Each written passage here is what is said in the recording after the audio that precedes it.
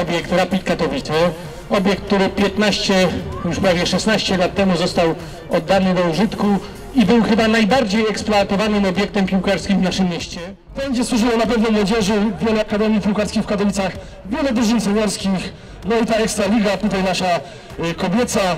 Y, Życzę powodzenia, może, no dzisiaj też oczywiście, ale dzisiaj nie muszą wygrywać, gdzie wygrywają w lidze, a Państwu życzę wielu, wielu sportowych emocji. Dziękuję bardzo. Panie Naczelniku oddaję mikrofon. E, Tak, witam Państwa serdecznie.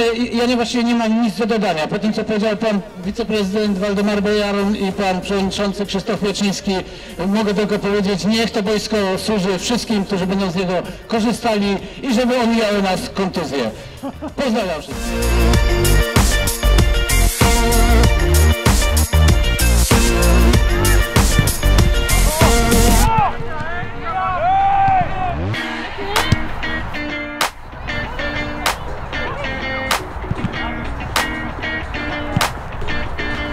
e gol.